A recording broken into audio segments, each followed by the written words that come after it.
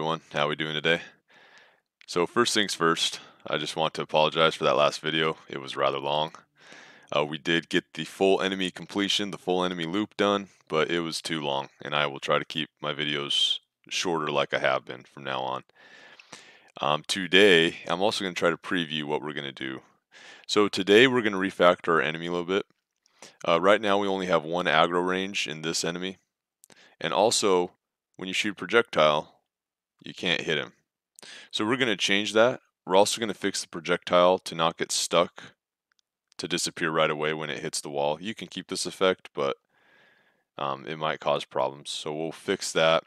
And then, so yeah, we're going to add another aggro range, and we're going to call this the de-aggro range. So the initial aggro range you're going to walk into, it's going to follow. But then to de-aggro, you have to get out of that larger range. We're also going to make it to where you can hit with projectiles no matter what state it's going into. Because uh, in, yeah, well, you can't hit the projectiles anyway on that, on our original enemy. But this one, yeah, you'll be able to attack him from anything, any state. So when he was getting up there, sleeping, walking, etc. So let's get started with that. And so let's go to our objects go to our, our enemy log here. And we're going to go to the field of vision first off. Let's get that. So we have an initial aggro range, which I'm not sure, I might have left this name here. So let's rename this to the initial aggro range. And then we're going to want another field of vision called the de-aggro range. And what we're going to do is we're going to copy the 180 distance radius and then instead of so we're just going to copy the the size of it and then we're going to just scale it. I'm going to scale it by 50% and so now when we preview we can see that the new de-aggro radius is now around our old enemy. Now we can't see the initial one because we turned it off. So if we turn it on real quick we can hit preview and now we can see it. And preview if as you can tell, it throws the object in the map right away. So that's why that this annoying little guy is here when we click preview, which is nice because it throws the object in the map just for you to see what it looks like. And that's it for setting up the field of vision. Just one quick thing, say you want your field of vision closer, you can always move the tab closer to you. I'm just going to keep it far because we only have to set up certain things and then we're done with it. So on this transition, we have the initial aggro as the transition condition, and that's fine because it's going from sleep, has the smaller initial aggro, and then it wakes up. So when it goes back to sleep, though, it's it was when it lost when it was not in that aggro range, field of vision range. But we want the, to change this to the D range now because that's when we want it to go back to sleep is when we're out of that bigger de-aggro range. And again, have the not in there. And so that is good for that. So let's now make it to where projectiles can hit. And one thing was is we added hit detect detection by player. And that was fine because on our animations, right, our player sword attack has a hit detection you know, on certain frames. But our projectile is a sword bullet, and it's its own animation. So what I forgot to do last time was we can just copy and paste, but we'll click into here. And instead of on player, we also want the sword bullet. Again, affecting all, and we'll hit OK. And we want to change this to OR because it can be the enemy player's attack detection or the sword bullet's attack detection. And now let's test this out. And let's go to, yeah, actually, yeah, let's, for now, yeah. So this is our new one. This is the one with the sword bullet that we just set up. And it does nothing when he's in idle. However, when you aggro him, it should start working, and it did. So let's restart this. You can hit F5 to restart. So you can see that it now takes effect when he's walking towards you. So hit F5 again, but he doesn't do anything while idle. He also won't get hit when you when he's waking up. See, it didn't hit him. So we're going to change that now. And the way we're going to do it is first I'll show you the messy way to do it, and then we'll work on the clean way. So the one thing that we need is we need transitions from sleeping, wake up, and back to sleep all to hit by player. So we're going to right click on this transition, we're going to copy it. We're going to go to back to sleep and we're going to hit paste link and we're going to paste it to hit by player. We're going to right click on idle, paste link, go to hit by player, and we're going to right click on wake up, paste link, and go to hit by player. Again, this looks really messy, it gets better. So now we're going to hit play and let's just test, make sure our projectiles hit when he's in uh, sleeping, and it hits. But he kind of goes right back to sleep. That doesn't really look good. Oh yeah, let's wake him up and try to hit him. So right when we enter, I'm going to projectile swing. Boom. Okay, good. It hits. But like we saw here, I'll hit F5 again. It, he just goes right back to sleep. That's kind of a, not a very fun reaction. So what we're going to do first is we're going to make another option for when the player is hit.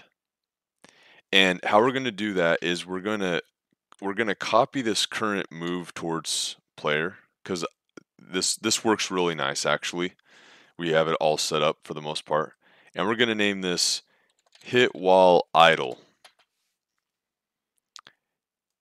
And what hit while idle is going to do is it's going to do the same thing. It's going to move towards the player.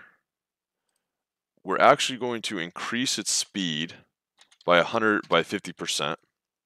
So now it will be 50% faster as it's trying to catch up to you because it's angry. We do need to keep the filter and we need to keep all this stuff.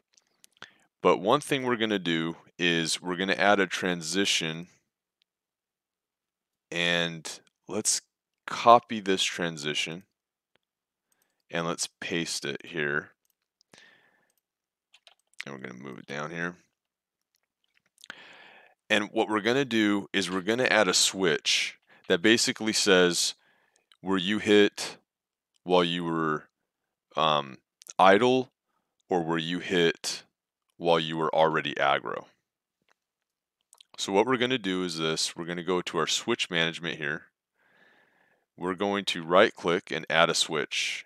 We're going to move it all the way to the top so that we don't have to, so that it's, it's available on the uh, drop down menu right away.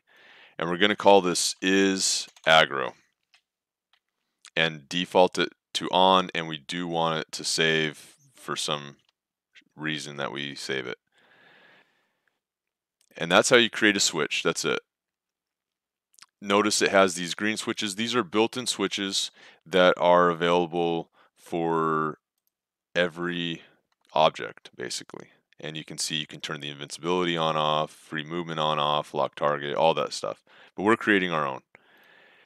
And what we're going to do is when the player is moving, it's it is aggro. So during this state, because remember this is a state machine, they're called infinite uh, finite state machines.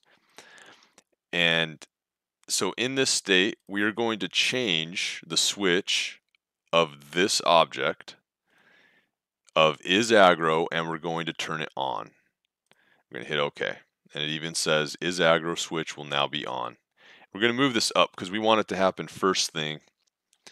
Then you can start the move and then you can delete the filter or you can delete the filter and then start to move. That part really doesn't matter, but I'll, I want my switch to be first thing that's ran.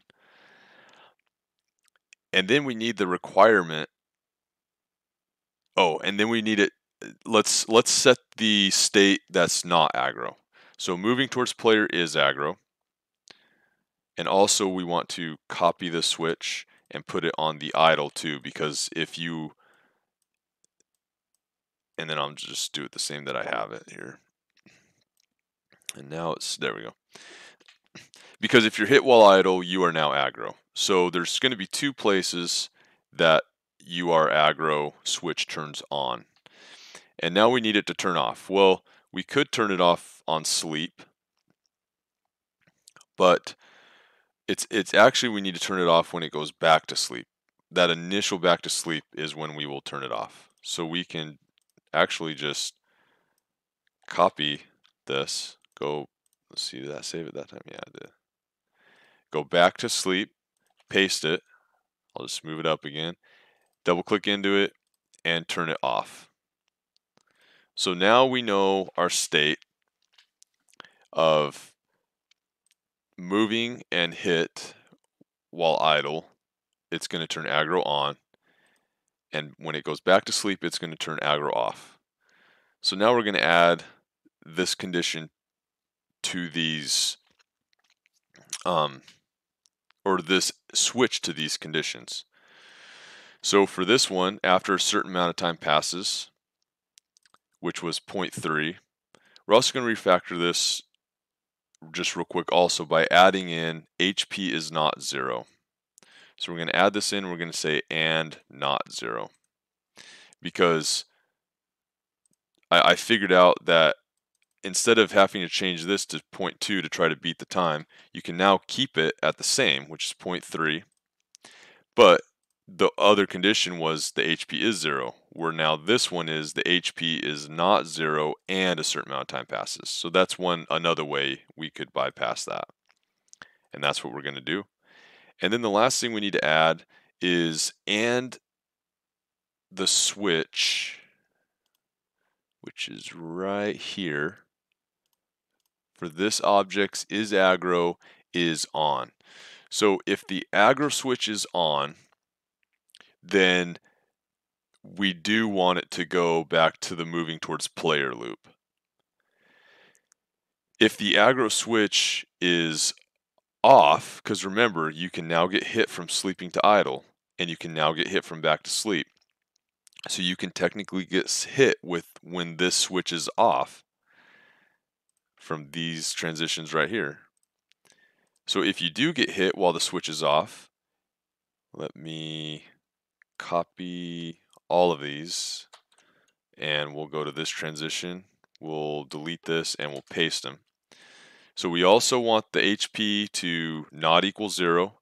And when you paste a transition not equal to, you have to re not equal it just so just for clarification.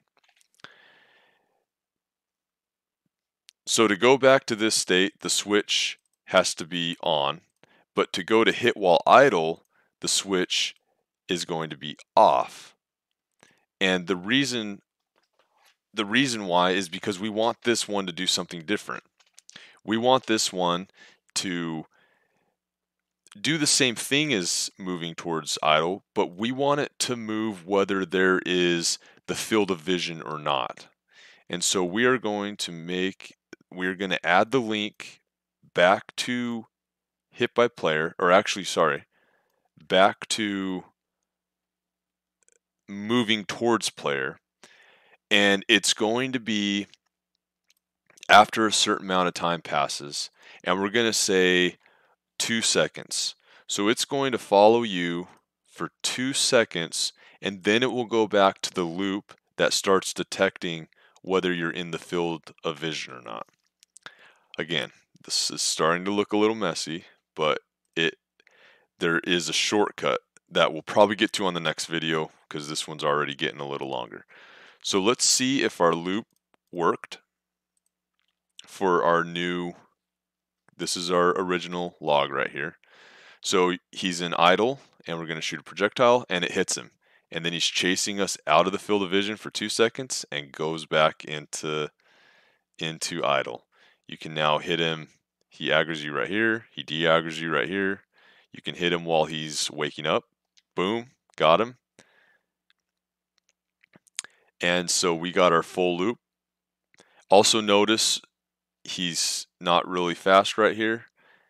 Diagram hit him while he's out of aggro and he's 50% faster, if you remember. Oh, I didn't change his life here. Let's see here. Okay, so he's 50% faster when he's hit during idle. And then you'll see him slow down. Oh, I'll let him get in range of me and then you'll see him slow down here. There he goes. He slowed down. All right, so that's it for this video. Next video, I will show you how to clean these transitions up, make it look a little more tidy and readable.